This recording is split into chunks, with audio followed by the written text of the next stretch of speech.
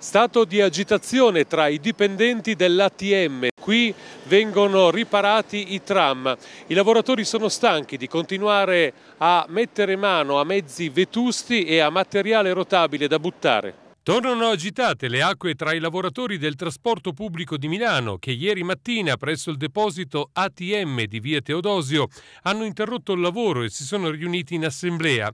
In circa 200 hanno protestato contro un provvedimento disciplinare dell'azienda per uno scambio difettoso che aveva causato qualche giorno fa il deragliamento di un tram. I lavoratori sostengono che il guasto non fosse colpa di una cattiva manutenzione, ma per il cattivo stato in cui versano i binari e gli scambi in varie zone della città. C'era già un po' di, di malessere prima all'interno della struttura, poi ovviamente queste procedure che sono arrivate di contestazione nei confronti dei lavoratori non hanno, non hanno di certo aiutato il clima, anzi insomma ha esasperato un clima che magari poteva essere già teso per tutta una serie di, di fattori che stiamo vivendo all'interno del, del, deposito e delle manutenzioni in generale. E poi ovviamente non è solo una questione dell'officina generale ma anche delle altre località dove ci sono le manutenzioni. Dal canto suo l'azienda ha avviato un'indagine disciplinare che ha coinvolto 10 tra operai e capi. In uno specifico incontro tenutosi fra l'azienda e le rappresentanze dei lavoratori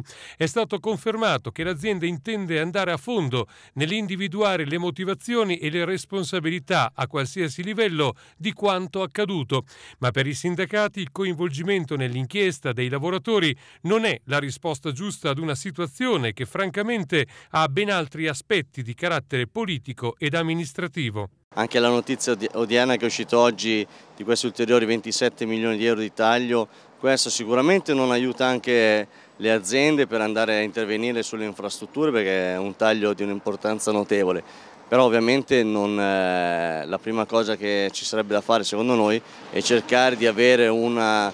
una migliore e più efficace manutenzione e piano di, di revisione su tutta la rete perché cioè, problemi di circolazione, questo io non, non, non, lo dico, però ovviamente ci sono degli scambi che sono datati e insomma, avrebbero bisogno di avere un, un accurato,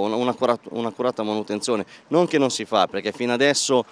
purtroppo i procedimenti sono arrivati fino a un certo livello basso de, degli operai e qualche, qualche preposto però fino adesso si stanno girando e per l'impegno che queste persone ci stanno mettendo quotidianamente da anni in varie condizioni anche non ottimali perché lavorare a Milano con il traffico, con il problema di circolazione è sempre una cosa molto molto difficile.